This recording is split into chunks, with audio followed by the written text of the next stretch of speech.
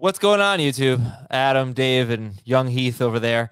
We have Dynasty Talk for you today, plus some NFL Combine news. Please hit like, please hit subscribe. And Dave, I'm going to keep this one short. Here we go. It is a Dynasty episode of Fantasy Football today. If you're not in a Dynasty league, you should listen anyway. We're talking about trade values for players and what we think about them for 2022 and beyond. Plus, we have a ton of news items from the NFL Combine coaches, GMs have been speaking, a lot of quarterback notes to get to. And Heath Cummings wants to make a trade on the air that I think would be, you know, with Dave Richard in their dynasty league. So, Heath, the floor is yours. Yeah, we've tried this before and um, haven't been able to pull it off. But I, I think we're in a unique situation now to where Dave has a glut of running backs in our dynasty league. I have a Shocker. glut of rookie draft picks in our dynasty league. Um, mm. And I just wonder, like, if he's going to start all those running backs. Now, Dave, if you'll remember, tanked last year. And so right now in his starting lineup, Jarrett Patterson and Jeff Wilson are his starting running backs. And those are not the running backs I'm interested in trading for. but he has David Montgomery, he has Elijah Mitchell, he has Tony Pollard. He has Cam Akers, Michael Carter, Kareem Hunt. That's that's six running backs. Yeah, he, he, could use some more uh some more youth on his roster. How about a little love for Jake Funk, by the way? Uh, don't no, fake no love funk, for Jake Dave. Funk. No, don't. He's on. He's on the, the team funk. too. Crickets. He, he won't. He, he will not be on the team once Dave has to cut his roster down to make room for his 2022 draft picks. All right, Heath. So what are we thinking here? Let's make a trade. Let's make it happen. You, Dave, you definitely need to make a trade. I no, I, I don't have. To. You have to make a trade. No, Dave, I don't have just, to. I, why don't I think the easiest way to go about this would you just tell me like which because all of your running backs are kind of in the sameish range as well. Yeah. Um, I don't know that you necessarily have a top 10 running back. And I think you have like seven top 30 running backs. This so who are the running backs that you value the least amongst your running backs? Like, I'm just want to trade for the cheaper ones. And this is, well, I think, Jake, there's this Jake is Funk. trade strategy 101. If there's three or four guys that you don't really see a big difference between on someone's roster at the same position, just ask them who's the cheapest. But I also know that running back depth is important in fantasy football. It's kind of been, I, I might as well have it tattooed on my back at this point. Yeah. So I don't I don't necessarily want to give it up, especially considering the fact that, as you said, Heath, I don't have I don't have that gem, you know, PSA 10 style running back for my lineup. I've got a bunch of guys that are startable for sure, and a couple that could become potentially gems. I think you look at Akers, you look at Carter, uh, Elijah Mitchell, like they've got a chance, even though we can make the case against all three Who's of them. the cheapest, Dave? Let's go. Make the trade No, already. you didn't mention you didn't mention I- David Montgomery. Is he cheaper than Mitchell and Carter and Akers? He might be. Um, I also kind of don't want to let you know which one I think is the cheapest. Well, see, this is the thing that just chaps my like rule 101 Here we of go. completing a trade. If we're not going to have open lines of communication, then we're not going to be able to put a deal. Like if we Why can't should talk I about how we value players, I then what's the point of even trying to negotiate? I think the better thing for you to do is for you to rank those running backs. Mm-hmm. You don't have to tell me about it. I've You- already you ranked rank those running backs mind. multiple places online. You have to click like three links to find how I view those running backs. Well, that's this not is not a help our mystery. listeners. Let- It's let- let- all out there. all right. Well, Bill, he says he wants the cheapest one. Okay, so I- I would say that Kareem Hunt is the one that you have ranked the lowest of that bunch. and I will give away this information. Kareem Hunt is the one that I would be most willing to trade from that group. okay. Heath, what would you like to give up for Kareem Hunt? Oh, if I'm you're sure. offering me 101 for Kareem Hunt, uh, I think I will say yes. I do have both 101 and 102 in that league. You have I will take both of those for Kareem Hunt. Adam, Yeah. that's a deal. Neither of those are available. Damn. Um, I I would probably though give up um, an early second round pick for Kareem Hunt. And what I would tell you is that's a no for now. But if there's a player that slides in our rookie only draft and I'm like, oh, I got to have him, you know, like I felt about Parris Campbell once upon a time. Mm-hmm. What a trade that was between us, Heath. Oh my God. Um, then maybe I would give up Kareem Hunt for that early second round pick. But for now, no, I would not do it just for the early second. So you think you have six running backs that are worth a first round pick in the rookie draft? it doesn't matter if I think that they're worth a first or a second round pick or not. I'm not willing to trade off Kareem Hunt just for a pick that I don't necessarily have a plan on. Like I Yeah. couldn't even tell you, I couldn't even tell you how I've ranked the running backs and receivers in this rookie class yet. So once a, once I, if I if I get to a point where I see 15, this is a 14 team dynasty league, and Heath, I'm assuming that you're offering the first pick in round two. I I'm don't not even know sure if you have even the have that one, but Right. I don't know. I don't know. You've got all the picks. I have the first or the second, one of the two. It's So 14. let's say it's the either- second pick in round two. That means I would have to have a ranked list of 16 rookies that I would rather have than Kareem Hunt for me to make that trade. And right now, I don't have that list. I don't even know who's won for me. Yeah. Okay, I So think it's I'm that's sorry. interesting though. I mean, it, that's a, right that's a fair trade offer. It's a good range. Right. And what about yeah? I, I do think we should maybe explore that a little bit further. Are you saying that you would just never trade like you traded Tom Brady for the 14th pick in the draft without I- knowing who was going I to be didn't know it was going to be the 14th, and I probably would have done it even if I did know that it was the 14th. But you didn't know who your 14th ranked player was then, but you were willing to take the draft pick. Yeah, because I was trading a player who I knew didn't have much time left in the league. I didn't know he was down to like single digit games by the time I traded him. Yeah. I, I assumed Brady would play at least one more year. I figured, okay, this is a depreciating asset. I had Joe Burrow, and Um, uh, I was Kareem tanking. Hunt is also a depreciating asset. I agree. Okay. All right, we're on to something here, folks. Uh, let, we'll keep you updated. See if he. Uh, let's uh, you know. Let's get to the It's NFL. a no draft. for now. It's it's not a it's not a I'm not slamming the door in Heath's face. What about a late first for David Montgomery?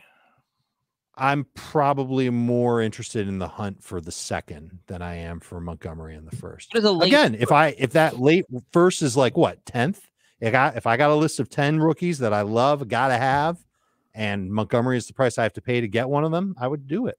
But David or David, why did I say David? Gabriel Davis is the guy that I had to part with last year to just move up in our rookie draft to get Michael Carter because I wanted Michael Carter that badly. And now I feel kind of like a dope because Gabriel Davis looks like Are you you feel like a pretty dope good. for trading Gabriel Davis for Michael Carter? No, he got Gabriel oh, look- Davis and another pick. Yeah, it was Davis oh. and another pick. It was just to move up. Oh, okay. And I think it was to move up like three or four spots. It wasn't even like a huge move up. I might be wrong on that. All right, let me promote a few things here. Schrager usually tells me what to promote. He didn't tell me today. He's uh, he's off today, so promote whatever the hell we want.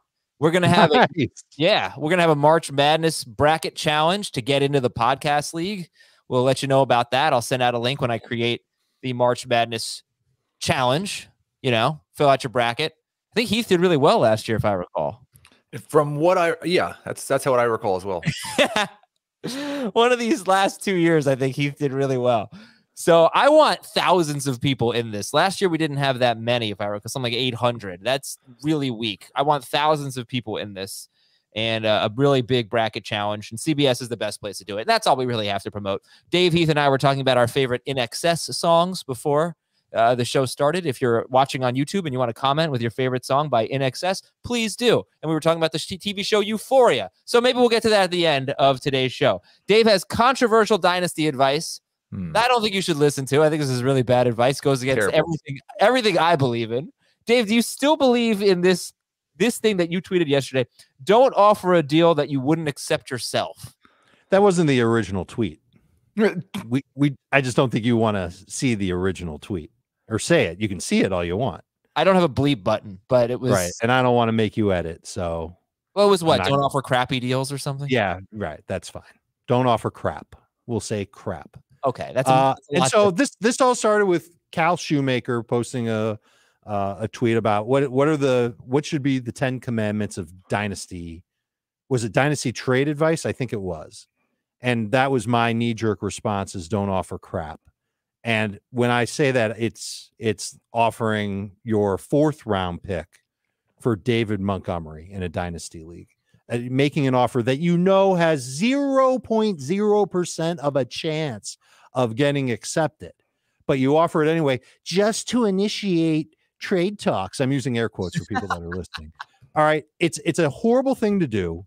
If you want to initiate trade talks, offer a deal that you would conceivably accept if it were offered to you. Put that deal out there. It doesn't have to be your best deal, but it's got to be a deal that at least doesn't make the person receiving it go, what a joke, reject, and then they block you from any future trades. Your reputation, especially in a dynasty league where you're playing with other people year after year, I think it matters a little bit. Nah. This isn't like an FFPC league where you're playing with other strangers. You want to offer those crap trades all the time, go for it. But I, I think in a dynasty league where you want to try and have a relationship with other fantasy managers in your league, it's important to not be an idiot. Go ahead and put an offer out there that's it, it doesn't have to, like I said, doesn't have to be your best offer, but it's got to be something that you would at least say, okay, maybe if this were offered to me, I would take it myself. Hmm. I don't know. You never know when people are going to accept a horrible trade offer. And if anybody gets so mad about a bad trade offer that they're going to not talk to you or shun you from trading or would never trade with you again, then they're probably a little bit too sensitive and you should think about getting other friends. But I look, I get it. I I've get been it. friends with you all this time, and you still make terrible trade offers. Exactly. Because I know you're And not. that- that's not even in dynasty leagues. That's in regular redraft. But I, I, I'll tell you what, I would defer to Heath on this one because Heath's got more dynasty experience than I do. What's the best way to initiate a trade in a dynasty league, Heath? I I think the first statement that Adam put in the notes was um, way different than what you just said. So I don't have anything problem with what you just said. Yeah, I Like, you, agree, agree. you should make an offer that it's at least conceivable someone might. And I think maybe even taking it a step further, you need to like look at the other team's roster and at least try to figure out what they're trying to do. Don't offer DeAndre Hopkins to a team that's rebuilding. Um, don't offer a team that's a top contender a first round pick for one of their best players. Doesn't make any sense. That's not what they're doing right now. They're trying to win or they're trying to rebuild. Mhm. Like at least make the offers make sense. What And about finding the teams where you think there's a fit? I'm sorry, Adam. That's all right. Finding the teams where you think there's a fit, and instead of making an offer, you just send a text or an email to them. Hey, are you? I, I think you might be interested in having Cooper Kupp on your team. Would you like to talk about making a trade for Cooper Kupp? Maybe be like, hey, I see you have five running backs that are all basically the same. Which one would be the cheapest? no, Fair, that is that- totally fair, totally it is fair. a good strategy in all types of leagues is to sort of empower the other manager and say, "Hey, I, you know, you know, put it in their court and let them make the first offer." I, I think that's a good way to reach out to someone and and uh, make them more Mm. excited about it rather than just throwing a trade offer in their inbox. I think we all agree you don't want to be mediocre in dynasty leagues. Uh, you want to either go for it or or rebuild. I mean, look, it it might be a league where you you know six teams make the playoffs, so you think you have a shot. But I've kind of been stuck in mediocrity in this one league for a really long time, and um, I wish I had been more aggressive in tanking. To be quite not tanking, but uh, getting some future picks, and I, I haven't. So, um, yeah, don't don't be mediocre. I think unless you guys disagree, we can move on to our next segment here, which is not about dynasty at all. It's combine news and notes, and after this, we will. Uh, we'll do one player at each position that has a lot to gain or lose. We'll debate D'Andre Swift versus Christian McCaffrey, CeeDee Lamb versus DK Metcalf versus AJ Brown. We'll talk about some some mid-range tight ends who maybe they have a lot of upside, maybe they don't. TJ Hockenson and Dallas Goedert. What do we think about them going forward? But right now, let's just run through the news and notes, some of the things, some of the headlines that we've seen coming out of the combine. And here we go. Miami will not be trading for Deshaun Watson. Seattle has no intention of trading Russell Wilson. Bruce Arians said that he won't trade Tom Brady if Brady wants to come back. He said, you know, we're not bad business, not going to trade him to another team. And that he also said that Tampa Bay is unlikely to trade for a veteran quarterback. And he also said that Jameis Winston, they wouldn't close the door on it, but that's probably not the best spot for Jameis Winston. So it could be Kyle Trask's time in Tampa. Right. That's what that's what they're making it out to be. Could be. They're Yeah. trash So, finding a so much for all these trades about of quarterbacks that were getting hyped up a month ago. It, it's good news if your name is uh, Jameis Winston or maybe even Mitchell Trubisky or Marcus Mariota. Uh, Jimmy, Jimmy Garoppolo is having shoulder surgery that's going to sideline him until the summer. And I, There's a guy that's going to get traded. yeah, but I mean, that's not ideal. Seems like a really good plan by Jimmy Garoppolo if he wanted to stay in San Francisco. Right. It was his idea to have the surgery. Uh, you're trading for a guy. You want to get him into the new system, whatever. Look, maybe the trade happens late, but you want to have him in for the for the full off season, and he's having uh, sh- uh, shoulder surgery, so Garoppolo won't be throwing until the summer. Philadelphia general manager Howie Roseman supported Jalen Hurts, and San Francisco GM John Lynch supported Trey Lance. He said that he's everything they thought he was when they traded up for him. Shockers. It, I, I do wonder like how 49ers fans feel about that with what it cost the 49ers to go get him and the level of play that we got from Jimmy Garoppolo last year and the fact that Lance could not take the job from Garoppolo. What did you when you say the level of play we got from Garoppolo?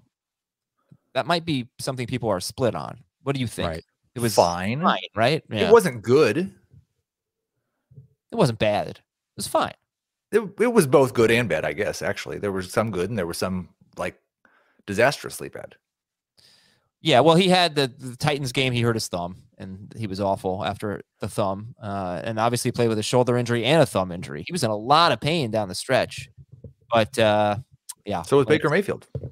and Baker was awful. I mean, at least Garoppolo was better than that. Uh, anyway, it was kind of stand by your man at the combine. Arthur Smith expects Matt Ryan to be on the Falcons, but it didn't say definitively. Uh, Kevin O'Connell, Minnesota's new head coach, said Kirk Cousins is their guy. Uh, it's pretty clear the Giants are willing to trade just about anyone, including Saquon Barkley. Detroit acknowledged they need an outside wide receiver. We're going to get to the Gronk thing. That's probably the most interesting thing. We'll save it for last. A couple of other news items here. Kansas City will likely use the franchise tag on left tackle Orlando Brown. Oh, the Lions have not decided on a play caller next season.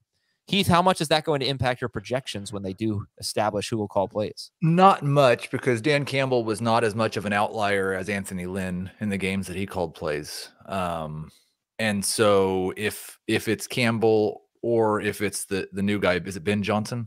Ben Johnson. Um, I I- I'm going to project pretty close to a league norm in terms of their play calling. They're going to want to run it a lot. They still love their offensive line, and they look at that as a superior strength for their team. So, wouldn't surprise me in the least if they were, at least when games were competitive, a little more conservative. Mike Gesicki is a franchise candidate, franchise tag candidate. He's not really a franchise tight end. That's according to Pro Football Network.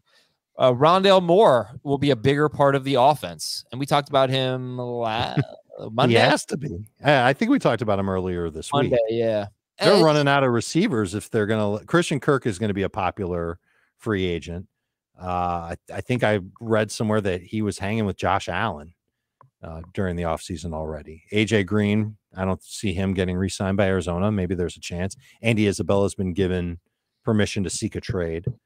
So they've got Nuke, they've got Antoine Wesley, Wesley, and they've got Rondale Moore.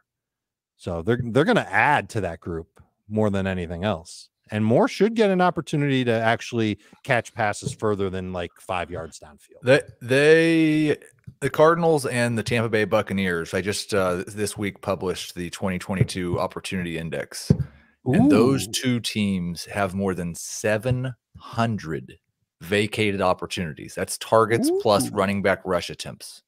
755 for Tampa Bay, 713 for Arizona. No other team has more than 519. So like e- enormous amounts of opportunity in those two places, and it, it it's partially to say you know there could be somebody that steps up, but also like maybe they're going to bring in wide receiver help, but they've got to spend money at running back. They've probably got to spend money at tight end. Like one of those three spots, they probably can't fill them all. Yeah, it'd be a big question. We talked about this with more on Monday. You know, this is a guy whose ADOT was, I think, 1.2 yards. That was his average depth of target, 1.2 yards. So a lot of it was behind the line of scrimmage. I mean, Dave, you said more than five yards downfield, more than how about negative five yards downfield? He just was a gadget player, which I think I remember having this conversation when he got drafted. I was a little concerned about Rondale Moore. He just seemed like a great athlete at Purdue. He was. He kind of out athleted everybody. I don't like to pretend to be a scout or anything. He just didn't feel like a polished receiver. And then to me anyway. And then uh, I think Keith, you said you said, yeah, but Arizona was a great landing space for him because of the way they would use him. And I think all of that sort of played out. But they didn't, you know, but he, I just wish they had used him more as a regular receiver Well, to know what to expect going forward. and he's not Tyreek Hill, so I'm not calling him Tyreek Hill. But Tyreek Hill was not a polished route runner when he came into the NFL. Tyreek Hill was used as more of a gadget player his first year in the NFL, and then they transitioned more his second year, and then his third year he became a true number one wide receiver. I don't think Rondale Moore is going to be Tyreek Hill. I want to clarify that again. But hmm. they're already talking about wanting to use him outside this year, expanding his roles. What we don't know is how like players progress in different ways. Some players are really good at learning new skills, even in the NFL, and and you know, diversifying their game. If he does that, he could still be a very good fantasy wide receiver. But he has things he has to improve. He's got to stay talk- healthy too. That's always been an issue with him. Let's talk about Rob Gronkowski. The Bills are reportedly interested in Rob Gronkowski, according to the Athletic. How fun would that be? Would you draft him as a as the number six tight end after you know whatever order? Kelce Andrews, no, Waller, Kittle, Pitt. No. no, where would you draft? You, you might you eight. might talk me into eight. Yep, but I think it's more like nine. Is Why? where he'd fit in. So who besides Dallas Goedert, who else are you putting in front of him? Schultz, Hockenson. Uh Hockenson for sure. Um Schultz, if he's back in Dallas, probably. Yeah, that's Hockenson what I'm assuming. For sure. What? Hockenson for, for sure, sure, especially if it's PPR. Yeah. But you might uh, Gronk might catch seven more touchdowns than TJ Hockenson. I don't think that that's crazy hyperbole. No. I think that that's um, possible, but I also wonder about how many targets he gets with Josh Allen there. But this is a team that still, I still think they're going to throw plenty, even though Brian Daboll's leaving.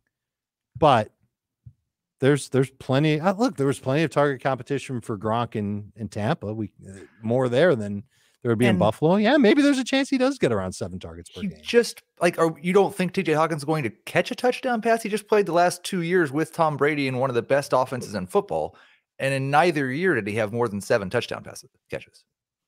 I still think he's got that skill. He had six touchdown catches in 12 games last year. Hockenson had four touchdown catches in 12 games last year. I mean, that's just it, Dawson Knox had nine touchdown catches last year. So, so he had six and 12, and Hockenson had four and 12. Yeah. And Gronk hasn't had more than eight since 2015. You really think it's crazy that he could have seven more touchdowns, that he could have 10 touchdowns? I, I think it's uh, more likely that Hockenson plays seven more games than Gronk than it is Gronk scores seven more touchdowns. If they but I'm done. I'm yeah, but I'm done docking Gronk for injury. Like I, I think he, he could always miss two or three games, but I I think that he's he's a going to be a 33 year old tight end that has that's okay missed How, games basically every year but 2020. Isn't Kelce 32? But Kelce plays 16 games almost every year. Last year was 17. Well, I would did Dawson Knox lead the team in red zone targets? Because the thing is, you know, Mike Evans was such, a, was such a red zone hog. And I'm just gonna check. I got it. I got it. I'll look. Okay. Uh, you know, so I just think that oh no, Diggs had uh, 34, Knox had 18. Inside the 10 yard line, Diggs had 14, Knox had 10. Knox did miss three games, I think. I so said. Knox was like second. Yeah, basically. he was 2nd mm-hmm. Well, I would imagine that would mostly shift to Gronk if Gronk is there. Right. That's what I was thinking. Maybe seven's a little much, but he'll out touchdown TJ Hockenson if he's on the Bills. But I hope it happens. That would be a lot of fun. All right, it's a dynasty show, so let's talk dynasty. Nothing says dynasty like Rob Gronkowski. By the way, you know, you got to talk about the rookies here and the latest mock draft from Ryan Wilson, which he published on February 28th. He had five wide receivers going in the first round. This does look like a pretty good wide receiver class. He had two guys from Ohio State, but he had in this order Garrett Wilson of Ohio State, who I believe he had mocked at number 11 overall, Treylon Burks of Arkansas, Drake London of USC, Jameson Williams of Alabama, who's coming off a torn ACL, and Chris Olave of Ohio State right at the end of round one. Go to CBSSports.com's NFL draft rankings, their prospect rankings. We have five running backs in the top 90, I want to say. And those would be Isaiah Spiller of Texas A&M, Breece Hall of, uh, of Iowa State, Kenneth Walker of Michigan State, Kyren Williams of Notre Dame, and Kennedy Brooks of Oklahoma. And three of those guys very, very involved in the passing game. Isaiah Spiller, again, A and M, Breece Hall, Iowa State, Kyren Williams, Notre Dame. Oh, Spiller had 74 catches in three seasons. Breece Hall had 23, 23, and 36 catches in three seasons. Kyren Williams had 77 catches for Notre Dame in his last two seasons. So they've shown that ability uh, out of the backfield and running routes. That's excellent stuff. So, I don't Give know. me so yeah, go ahead. give me Isaiah Spiller to Arizona and give me Breece Hall to Atlanta. And let's let's go. Like I I I still think I'm not as excited yet about Walker as I am the other two, but I do kind of feel like it's at running back at least Hall, Spiller, Walker. I don't care. I don't care. I don't care. And I think for Walker, I've been I've been pumping him so much. I, well, a little bit anyway. I haven't talked that much about these guys, but you got. I don't think I could make him the number one guy right now, just because he's kind of like, more like an old school bruiser, and I don't think he looks like a third down guy. He's someone who had 13 catches last year, 19 catches in his career at Michigan State. I just Still assume that you don't awesome. love Breece Hall because every time you watch him, you see David Montgomery and you hate David He- Montgomery. He does like Spiller looks to me like the most explosive of this group. And we've got a lot to to you know, we'll have Emory Hunt on, we'll have the guys who do this for a living, but I don't know. That you're a Breece Hall guy. I'm gonna plant my flag for for Isaiah Spiller. He's gonna be my my favorite running back in this. Somebody class. showed on Twitter just uh, a couple of days ago, and I don't remember who it was. So sorry, credit to you. Um, it's it's really silly to debate Breece Hall versus Isaiah Spiller right now. They are both really, really good. We'll see who gets the most draft capital and the best landing spot, and that will be the favorite. Yeah, probably. All right, so uh, that it does factor in though when you're looking at dynasty rankings here. You know, do you think Heath, there's a realistic scenario, one of these running backs, one of these wide receivers that's going to go in the first round for the wide receivers, maybe the late first or second round for the running backs, becomes a top 12 overall dynasty player instantly? Mm, probably Hmm. not instantly, but by next year, yes. I think Hall, or Spiller could have the type of year in their rookie year that puts them in the where Najee Harris or I mean Javonte Williams split all year and still moved into the top twelve. um, So yes, I, I think, and definitely whoever the best wide receiver is will probably be a top twelve pick at the end of next year. Here's a random question, Dave. Would you rather have Travis Etienne or the third pick, uh, fifth pick of a rookie draft of the rookie draft? I might lean toward the fifth pick of the rookie draft because there's some intriguing receivers to go with the running backs that we've talked about. And it feels like uh, what's what's the ceiling for Etienne to be a passing downs back at this point? Wait Well, a second. That's Alvin so Kamara harsh. is probably the ceiling. That's so harsh. okay. That's his ceiling. I All think right, maybe it so- being Alvin Kamara is the ceiling. He's tricky though. I mean, that's not an easy guy to evaluate. Nope. I, I have the first, uh, I think, eight picks ahead of Etienne right Okay. now. So, okay, all right. well, Let's move on. We'll, we'll get we'll get to that in a little bit. Uh, one player at each position that could move. Well, I don't know how the best way to phrase this. Heath. What's the be- best way to frame this uh, segment here? I'm not sure which segment it is. So one player at each position is what the Yes, you gave segment me- says. Yeah, I thought that's what So you I were- understand why you were confused after that. Um, I think what you said was, do you have some guys you'd like to talk about? Because this is not one player at each position. It's three players it at two isn't. positions, two players at one position, and one player at one position. one um, topic for each position. One topic for each position. And the first one is a guy who could move a lot during free agency. It's Jameis Winston. Um, I don't know that him re-signing in this current situation in New Orleans is going to move the whole needle a whole lot, other than the fact that we will be guaranteed he's a starter. And if you got a three-year deal to stay in New Orleans, like for legitimate money, then I think that would move it quite a bit. Where would you see him going? Top eighteen ish. 18-ish seemed right to me. Okay. I think we have more interesting positions to talk about since we did just talk about quarterback dynasty not too long ago. So we're going to take a break. And when we come back, we're going to talk about multiple players at each position, including this debate at running back. Would you rather have D'Andre Swift, Javonte Williams, or Christian McCaffrey in your dynasty league? And we'll talk about the running back landscape as a whole, which is pretty interesting right now. We'll take a break. When we come back, RB debates in dynasty. So, Dave Richard, would you rather have Javonte Williams, D'Andre Swift, or Christian McCaffrey in your dynasty league? Who's the The highest? knee jerk the knee jerk reaction for me is Javonte Williams, just because he's young. There's plenty of upside left. I'm not as worried about injury risk with him as I am with Swift and certainly with McCaffrey. The only thing that might change my mind is if I've got a dynasty team that's in win now mode and the allure of getting Christian McCaffrey theoretically at a discount because of what's happened to him the past two seasons would make me want to get him on the squad for the next year to two years versus Javonte, who might legitimately have five years in front of him. Yeah, I think if you were looking at it in terms of like dynasty upside, I would rank it McCaffrey, Swift, Williams. And if you're looking at it in terms of dynasty downside, I'd probably rank it Williams, Swift, McCaffrey. I think Swift's second in both. That's a little Um, confusing. Are you saying I think McCaffrey has the most upside, but also Isn't most it more downside. about like most safe? downside?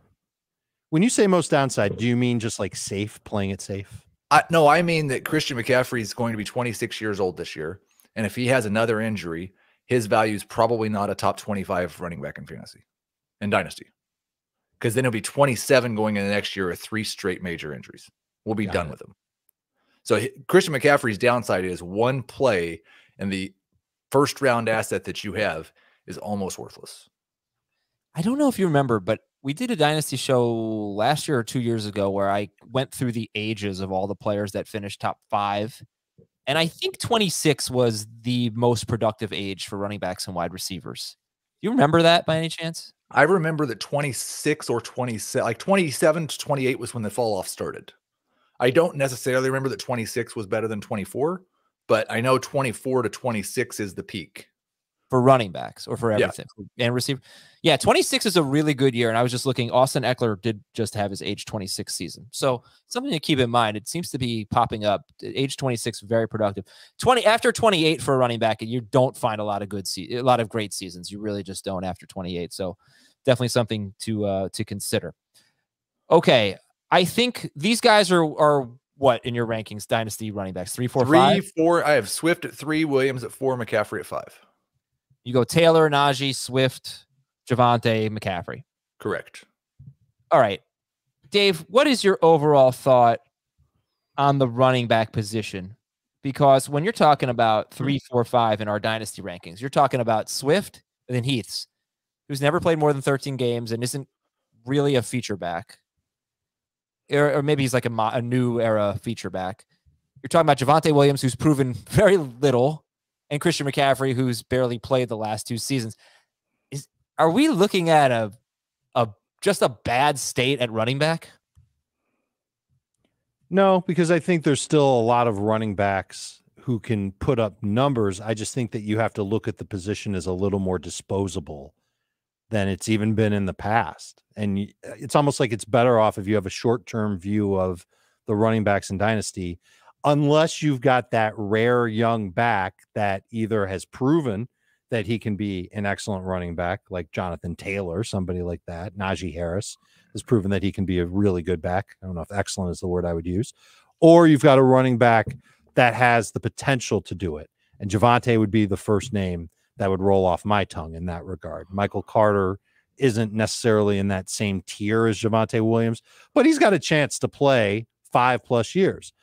Two years ago, I would have said the exact same thing about Saquon Barkley, though. And I would have said that Saquon Barkley, he's got five more great years in front of him. Christian McCaffrey, two years ago, oh, hell yeah, he's going to be amazing for the next five years at minimum. And you can see how fast that falls apart. Could absolutely happen to the Taylors and, and Javonte Williamses of the fantasy world. So I just, you got, I, I think it's almost better off to go, I don't want to say zero RB when it comes to dynasty, but you almost want to not invest too heavily in that position outside of rookie only picks. Because I think if you've got a rookie only pick and you've got somebody who you think can be productive for a long time staring you in the face, you take them. That's what those rookie picks are for. But when you're trying to make a trade, I think you almost have to devalue that position a little bit more than you would in a regular redraft league. And if you've got like five or six of them that have oh, been Oh, that are go. being Right. devalued, This is you true. should probably you should probably get them off your roster. And then so how do you value someone like Dalvin Cook, who will be in his age 27 season, or Joe Mixon, who will be in his age 26 season. I mean, can we expect three more good years from Joe Mixon? And does that make him a, a top 12 running back? Does that make him a top 12 overall player? You know, give me a Joe Mixon analysis in the Dynasty League. He is my number eight running back, but not a top 12 player. I think he's worth a second round pick. Um, it it helps him like he's in that same range. There's a bunch of guys after you get past like we talked about my three through five. Then I've got Ekeler at six and Dobbins at seven, and then there's a lot of running backs between 25 to 27, 28 that are kind of interspersed next. Um, but uh, yeah, I think you can count on two more good years from Joe Mixon and hope you get a third. Yeah, we need Dobbins, we need Akers, we need that class of 20 was that 2020? Yes. We were so excited about them going into 2021. We need them to kind of carry the load because we, we, where's Zeke? Where where's our Zeke? Where's our Dalvin Cook? Where's our workhorse running backs? I don't know how many of those exist anymore. I don't think they are. I think they just may not. But still, there will be running backs. I mean, there are one, two, three, four, five running backs who were in my top ten back in September who are no longer. Who? Um, Dalvin Cook, Alvin Kamara, Saquon Barkley, Aaron Jones, Ezekiel Elliott. Oh, very flimsy position. All right, let's go to our next debate. We'll go to uh, wide receiver. Yeah, disposable is a good word. Flimsy's not. CeeDee Lamb versus DK Metcalf versus AJ Brown. Lamb, Metcalf, Brown. Is that the way you rank it, Heath? It is. Okay, Dave, how would you rank them in Dynasty? Lamb, Metcalf, Brown. Uh, I'm very tempted to rank them in the exact opposite order. I think that I think that I think that's that's why I chose these three because I think Dave is closer to the public ranking of them than I am. So you'd go. So Dave is thinking Brown, Metcalf, Lamb, and Heath has it Lamb, Metcalf, Brown. Okay, debate. Dave, go. I'm I'm a little skittish on Lamb after what happened in the second half of last season. what would make me what would make me feel a lot better is if Amari Cooper was off that roster and they brought in a different receiver to work in three receiver sets and they bring in Gallup, they bring back Schultz, and Lamb becomes the number one. And we see we see him become the alpha in that offense like I thought he was going to be. There were two times last year where I thought we were seeing that. Once was in the preseason. It just looked like it was happening. Dak was talking up Lamb uh, differently than he was talking up other receivers in that offense. And every single play that we saw on social media was him picking passes off the helmets of opposing DBs. At minimum, it looked like it was going to be a bad year for the Cowboys defensive backs. That didn't happen, but it did happen where Lamb got off to a good start, got a lot of targets, and then something shifted in that offense. And Lamb, uh, I'll tell you what happened. Michael Gallup came back and they used Lamb a lot more in the slot, and he wasn't nearly as efficient as he was when he was outside. It's weird. And I'm wondering if that's if that continues to happen, that makes me a little bit nervous about Lamb. Uh, I'm going to spend a lot of time working on DK Metcalf this offseason. I've already started. I've got a stat that's wild. First half of the year, those first eight games when DK Metcalf was on fire, second year in a row, by the way, where he was awesome in the first eight games of the year, he converted almost 92% of his air yards into receiving yards. I've never seen anything like that. And you go back and you watch, he he's he's not running as many downfield routes in those first eight games. He's he's actually for him running routes really well because he's not as, as uh, fluid and shifty as someone like AJ Brown, for example. And he was getting open. He was making contested catches. He was catching off target throws, whether they were from Russ or from Geno Smith. He looked the part of a guy, you'll like this, Adam, a guy who could be the best receiver in the National Football League. He looked like it. And then I haven't really dug into the second half of the year. My guess is that they were trying him on more downfield stuff and he wasn't converting nearly as much. I believe, don't quote me on it, but the air yard conversion rate in the second half of the year was less than 40%. So that's a humongous change when you think about it. And that yeah. means he was being used differently. That's something that I'll write about at some point this year, maybe sooner than later. And then AJ Brown is elusive. We've seen him put up huge numbers before with Ryan Tannehill as his quarterback. Tannehill won't be his quarterback forever. Eventually, he will get a quarterback, fingers crossed, that's better than Tannehill, and he could really take off. And the way that the NFL is right now, I think that wide receivers that can make plays after the catch and can do a bunch of different things to get open on their own are going to be extremely valuable and heavily targeted. AJ Brown fits that to a T. And I think he's got a long time to go. I, I like all three of these guys, but Brown is the one who's my favorite. Yeah, these guys are uh, five, six, and eight for me at wide receiver. So I don't dislike any of them. I I almost jumped in in the middle. I feel like it's going to lose effect that I didn't. But the fact that we started a CeeDee Lamb versus DK Metcalf debate with concern over what CeeDee Lamb did in the second half of last year, um, CeeDee Lamb was Oh, a lot sure, better than fair. a lot better than DK Metcalf in the second half last year. Um, and I I feel like there is amongst the three of them a better chance for Lamb's situation to improve because Gallup could be gone, Cooper could be gone. There's more. T- I don't I don't think Tyler Lockett's going anywhere right now. They love him.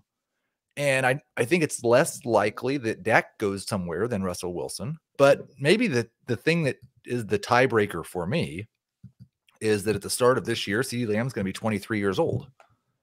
At the start of this season, AJ Brown's going to be 25. It's a two year difference. And I think you have more reason for hope for Lamb to improve on his skill set at a younger age with less experience in the league.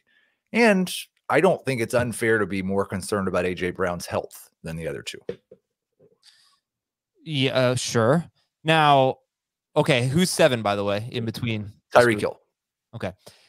Is Cooper Kupp ahead or behind these three? it, it every time I update it, Cooper Kupp is a guy who moves a little bit. Right now, he's fourth, and Okay. um, like the thing is, that's a that's a question that's entirely dependent on the state of your team. Um, uh, for a rebuilding team, it's not close. You'd much rather have any of these three guys, but for a contender, I'd rather have Kupp. Now we talk, we're talking Lamb, Metcalf, AJ Brown. Are they ahead of Joe Mixon in your dynasty rankings? Um, I think he's probably right in the middle of them. Uh, no, he's he's behind all of them. Mixon's behind all of them. Okay. Lamb is i- overall. I've got Lamb ten, Metcalf eleven, Brown thirteen, Joe Mixon's twentieth. And what about the D'Andre Swift, Javonte Williams, McCaffrey group? Those three are ahead of the wide receivers for me.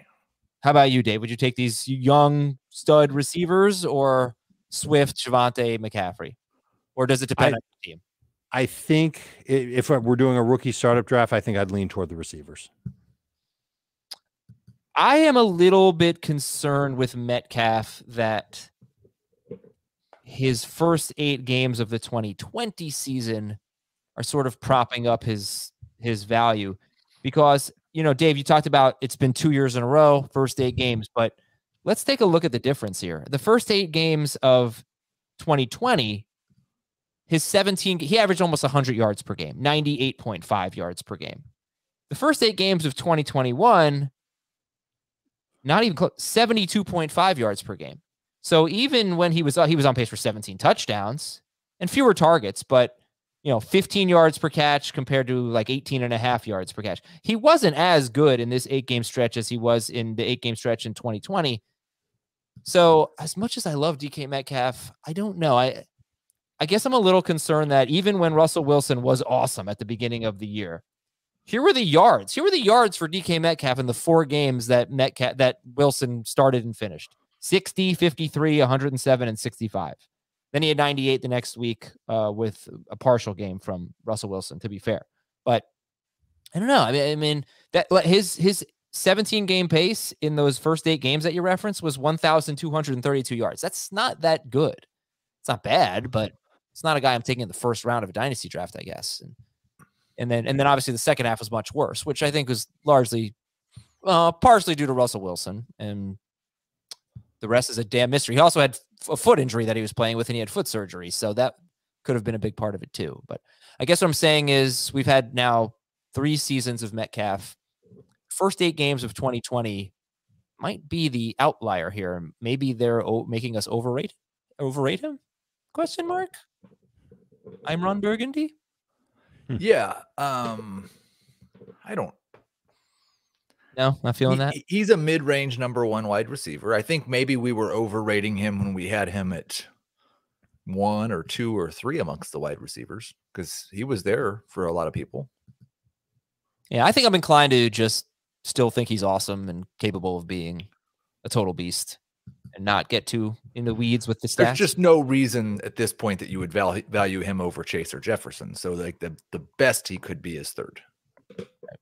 Okay, let's go to our third question. Here's a tight or fourth question. It's a tight end question. How much upside do TJ Hockenson and Dallas Goedert actually have? Heath.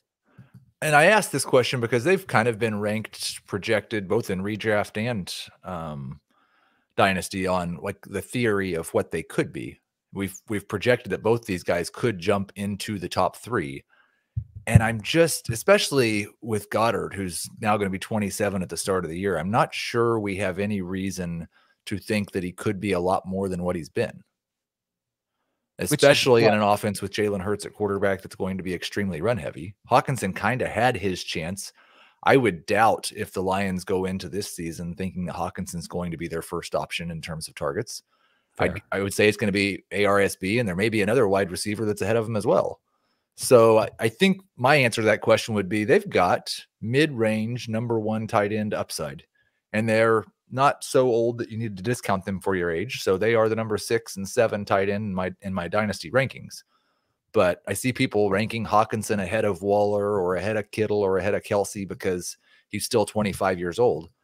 And I just can't do that because I'm not sure he has the upside to give you a season like they can this year. Sure. What happens this year when he doesn't dominate for the Lions. And he's a good fantasy tight end, but he's not a difference maker for Detroit. Does Detroit give him a huge extension? Does he settle for a contract to stay in Detroit? Does he move on somewhere else?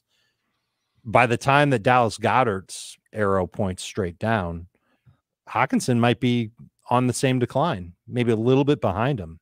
So I like Hockenson better because he's younger, and I think he's got maybe a little bit more time on the clock to be helpful for fantasy than Dallas Goedert. But there, to me, that's very close between the two. So close that if I were in a dynasty startup and I see Hockenson go ahead of Goedert, I almost put the the periscope up looking for Goedert within the next 12 or so picks after Hockenson. And okay, I don't know that there's a whole lot of difference between another first round tight end for the Detroit Lions through three seasons. I mean, the, his rookie year was better, kind of. Mm, well, Are you talking about Ebron? Two seasons from. Well, how many seasons we have from Hockenson? I'm sorry, Three. three. Three. Three. He is he has been in the league for three years and he has 1,600 yards and 12 touchdowns. So I, if we could, yeah, but he boy did he come out firing. You know, his first two games, right? Yeah, he was amazing. 45 PPR points in those first two games. yeah. Last 10 games, he's he had 420 yards and two touchdowns. And his 17 game pace was 714 yards, 76 catches, and three touchdowns in his last 10 games. Um, yeah, so I- I think if I actually wanted to talk about Goedert, if you don't mind, because he actually had, in terms of his rates, an incredible season. Yards per catch, his yards per target, 10.9 yards per target blew away his previous career high. How about this? He had nine games out of 15 with five or more targets. In those nine games, Dallas Goedert scored 12 or more PPR fantasy points seven times. 12 or more PPR fantasy points. That's what Darren Waller and Dalton Schultz basically averaged. They averaged just a little bit more than 12 PPR fantasy points per game. He got that or more in seven of nine games with only five or more targets. On a per target basis, I don't know, Yeah. he may have been the best tight end in football. He was so good, very close to it anyway. He was uh he was a top 10 tight end despite being 17th in targets.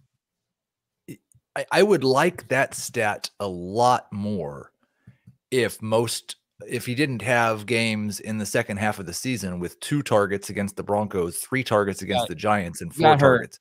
He got hurt against the Broncos. He left pretty early. Okay, the, uh, the two games against the Giants then. Yeah, He had yeah. a combined three catches for 28 yards. hmm Yeah, you know, he had these games, and and there were a couple games where uh, Jalen Hurts threw 16 or 17 passes. So that's obviously a problem. And also, if you look at his last 10 games after the Ertz trade, he caught two touchdowns. They were both in the same game, and they were both from Gardner Minshew. Jalen Hurts did not throw Dallas Goedert the ball in the end zone or near the end zone. It was very strange. I don't know how much They Jalen ran Hurts it threw the all. ball in the end zone in the second half. right. Not but much. he did have a 23% target share without Zach Ertz after the Ertz trade. and he was great per target. really so I, I do wonder if that makes you think that there's more potential there. What I you know what I can look up really quickly is his target per route run rate after the Ertz trade. Okay. I bet that I bet that percentage is high. Anything that's higher than 20% is usually good for that. It started in week seven. So Yeah, week seven to week 17. Give me 30 seconds. Okay. Oh, that's oh, we got to do some trade talk too. We'll we'll do a which side do you want? By the way, Heath basically produced this show, so thank you to Heath for for great work there. And we had some comments I wanted to bring up from the chat, which was been a long time. Oh, is it me, or are all of you guys getting better looking every day? And then the next comment was, except Adam, lol. That was interesting. Hey, I mean, if you're looking for isle- island real estate or property management, we know where to go. Yes, Island Real Estate and Property Management Incorporated is asking these questions. He also asked, "Do you think Cam Akers is worth keeping in Dynasty, and what round?" In a, in a keeper league, Cam Akers anywhere from I, I would say round 4 or later is worth the keep. I was going to say round three. So Sean Brenneman has Carter, Swift, Javonte, Dobbins, and Hunt at running back. Dave, you should probably pay attention to this. I am, I am. Well, first of all, does Sean think we're getting more handsome? uh, the Pitts owner wants D'Andre Swift. Would you make that trade? For sure. um, Hell yeah, I'd trade Swift for Pitts. That Yeah, offer I- is not the pits. I like Swift more than Pitts, but um, I would. I just can I can I get a second round pick thrown in, and then I'd do it.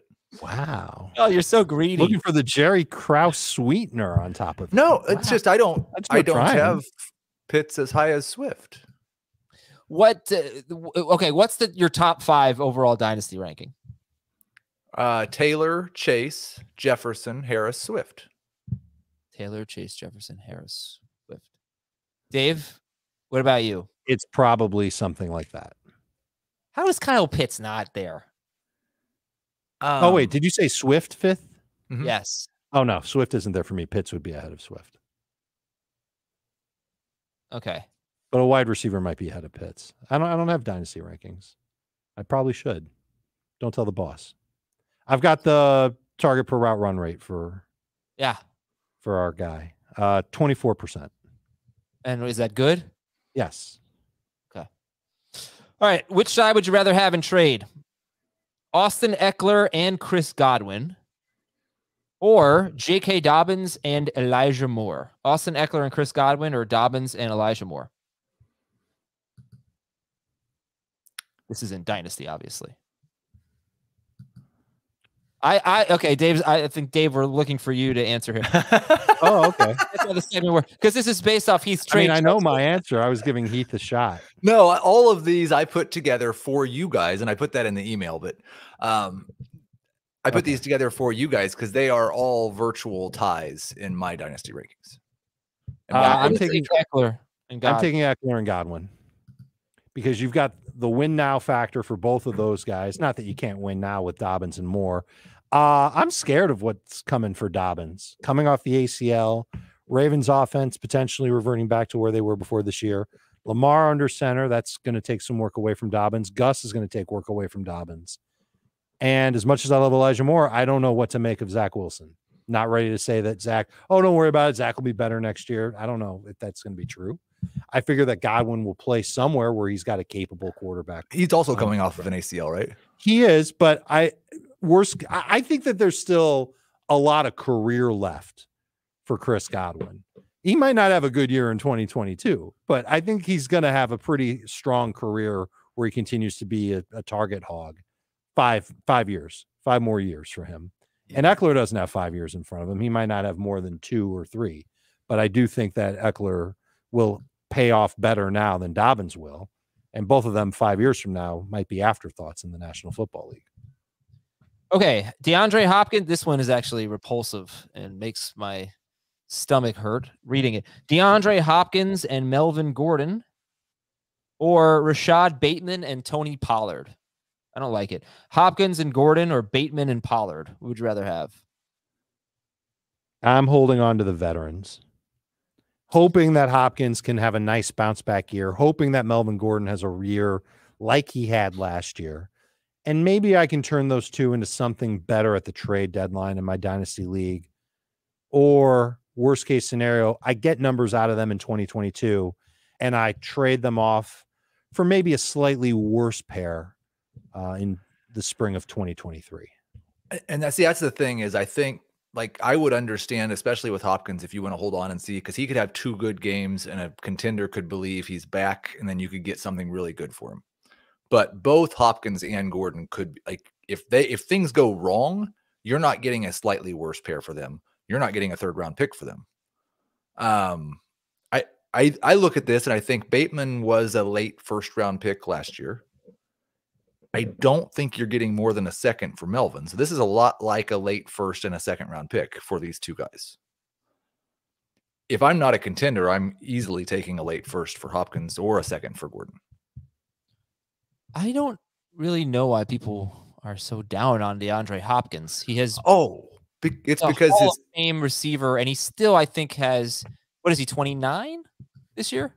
Yes. So I I think you know just based on what receivers of his caliber have done, it's not uncommon for them to be good up till they're 31, 32. And I it, I don't know. I think he's being judged a little bit too harshly on on his yards from this past year. Personally. I do want to clarify that Hopkins he's being judged judged harshly on his targets. And that might change because they let enough receivers go that he gets a bunch of targets. But his target share fell to like he and Christian Kirk and AJ Green were basically taking turns leading the team in targets. It was almost an even split at 20% for each of them, which is awful. And he will be 30 before this season starts. Mm, yeah. So I think what you said is right. Like you might get one or two more good years from DeAndre Hopkins. Um, but again, he's one of those guys that the floor is almost nothing if this year goes bad his floor in terms of his dynasty value. Right. Right. All right. Patrick Mahomes and Travis Kelce. this is fun. Yeah, awesome Joe duo. Burrow and Kyle Pitts. Burrow and Pitts are Mahomes. As tempted as I am to take the Chiefs combo, I I believe that Kyle Pitts will be a productive tight end for many years, and that that means the difference between Mahomes and Burrow. I'm not sure that that'll be a big difference. So I will take the Burrow Pitts side ahead of Mahomes and Kelce. Mm, me too. I think everyone would, and I'm just going to be a homer um, okay. and and defend the other side because, like I said, I think it's I basically even. And if I was a contender, like I, I I'd be really tempted because I don't really like last year. Mahomes had his worst year, right? And Burrow averaged nine yards per attempt and had a 6% touchdown rate, and Mahomes was a point and a half better per game. I don't think we have any reason to expect that Burrow is going to close that gap in the coming year. Neither of these guys, they're basically the same age. Uh, Mahomes might be a year older. And Pitts, how how much does he have to increase to get into Travis Kelce's neighborhood in the next two years? Mm, he yeah. needs to score a bunch of touchdowns and uh, see a slight uptick in targets. But I think he's got the potential to see a significant uptick in targets and have several years where he's in the double digit touchdown range.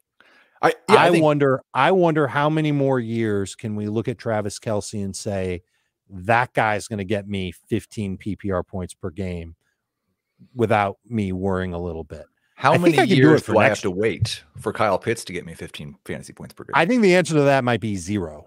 I think there's a chance that that could happen as soon as this coming year. And I know that Kelce will do it again this coming year. Like I feel that it's not crazy to say that. There's no reason to believe that there's a decline coming for Travis Kelce other than looking at his birthday and saying, see, he's 33 years old. But two years from now, does Kelce fall to father time while Kyle Pitts is on the up and up. I think I would, I would hope so. His football career would fall to father time, right? Not right. Uh, no, I mean that he like falls into a you know a pit. No, bottomless. okay. Oh, a pit. Okay, yeah. Bottomless, bottomless. So he's just yeah. constantly like this. Like one of those baseball players in the Simpsons, that famous Simpsons episode. Which one falls into a bottomless pit? Ozzie Smith, I think. Dave, we know, haven't heard from him in a long time. I think he falls in. I'm gonna. I gotta look this up before we go. All right. Anyway, that's it for today's show. Uh, who I don't have time to look this up. Falls in the bottomless pit. Uh, Ozzie Smith. Yes. All right, we're out of here, everybody. We'll talk to you on Monday. With What if I gave you a 2023 first for Montgomery? And it might even be better than a late first. Who knows what it'll be? Dave, take that. Uh, I might. Yes. Uh oh, I just got a buzz on my phone. Is this you, Heath, making No. the offer? It's not. It's Ozzie Smith. We're out of here. We'll talk to you Monday. We have a game called Mystery Draft or something like that. Working on a title, but it should be a fun show on Monday with some NFL Combine notes from Jamie as he'll be back from the Combine. Uh, FFT and five, we got uh, free agency preview, so you can check that out. Have a great weekend, everybody. See ya.